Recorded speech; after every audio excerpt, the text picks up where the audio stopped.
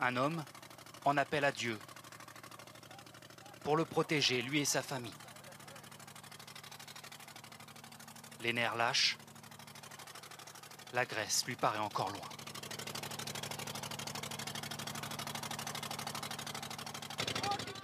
Dans 45 minutes, on y sera.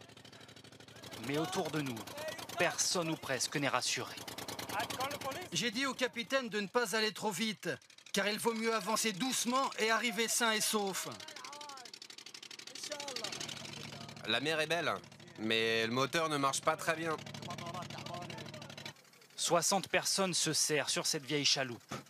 2000 euros par adulte, 1000 euros pour les enfants. La traversée est pénible. Le bruit du moteur écorche les tympans. La fumée et les odeurs de mazout prennent à la gorge.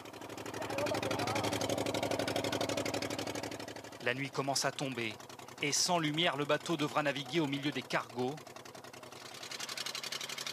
C'est à ce moment précis que le moteur va rendre son dernier souffle.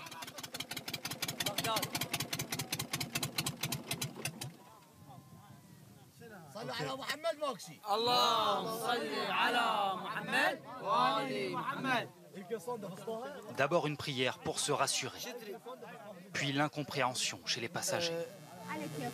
Le moteur euh, vient de s'arrêter. Et on se retrouve donc à à peu près 2 km et demi, 3 km des côtes turques, euh, quasiment sans lumière si ce n'est celle de notre caméra. Euh, et on voit pas de bateau à l'horizon. Pour l'instant on est bloqué. Plongé dans le noir,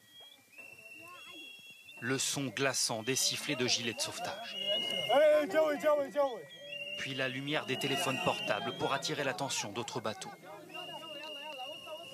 Les passeurs ne leur ont laissé aucun numéro d'appel d'urgence. Arrêtez de bouger, sinon on va finir par chavirer. C'est donc moi qui vais prévenir les secours par téléphone et leur donner notre localisation exacte grâce à un positionneur satellite. Je les ai appelés, mais il va leur falloir un peu de temps pour arriver, ok? Beaucoup de migrants sont morts ici. C'est pour ça que les gens ont peur. C'est alors qu'apparaît un bateau de pêche grec, dérouté par les gardes-côtes. La mer est de plus en plus forte. Le remorquage s'annonce périlleux.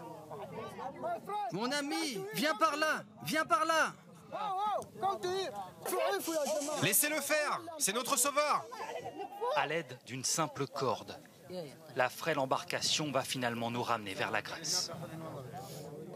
Vous savez pourquoi on va en Europe? Car chez nous, on se fait tuer par notre gouvernement. Alors que chez vous, quand vous en avez besoin, on vous aide. Le mal de mer rend la fin du voyage bien longue pour certains. Encore quelques centaines de mètres d'angoisse. Et après quatre heures de traversée, des applaudissements pour saluer la fin du périple. Laissez passer les enfants d'abord. Un à un, les passagers sont hissés sur le quai. Frigorifiés pour certains. J'ai froid. Mais sains et saufs. Comment vous vous sentez? Ça va, ça va. La mer, c'était effrayant.